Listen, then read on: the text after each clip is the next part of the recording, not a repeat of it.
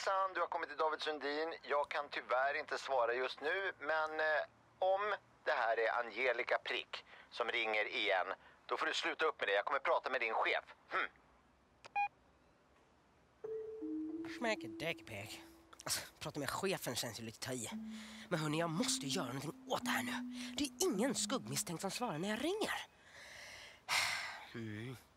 Första skuggägare Angelica Prick får ni inte stopp på i första taget. Hör ni det? Va? Va, va, va, va? Jag vet att du kollar, David Sundin. Angelica! Jag har något till dig. Vadå? Ja, en ny skuggledtråd. Ah. Mm, ja, jag fick den i fredags när The mamma var här på besök. Kolla. Är ni med? Då kör vi nu! Ah!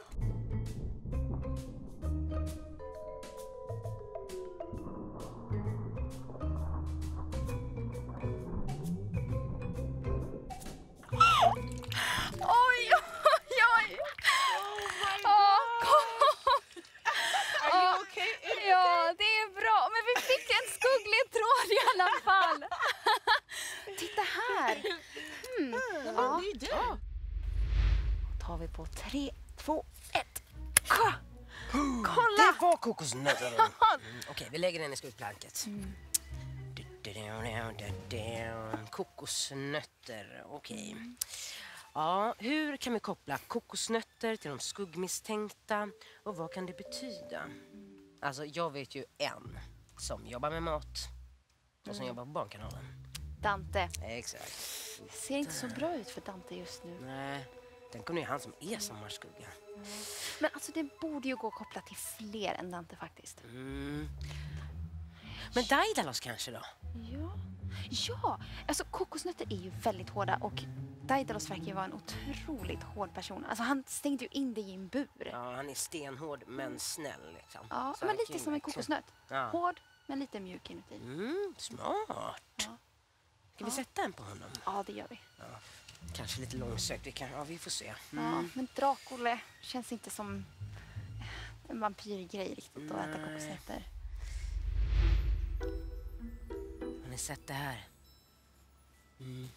Kullen spricker. Undrar hur det går för Ida där nere. Du, du, du,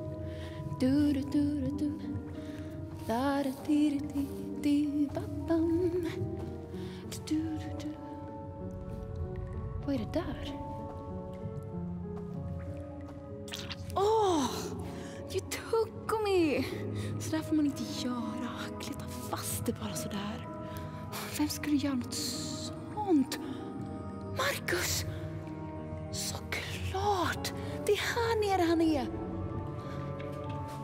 Marcus!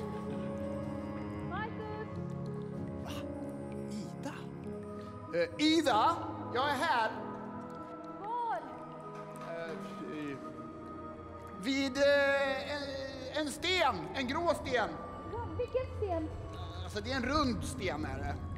Var är du? Här. Vadå här? Ja, vid det här valvet.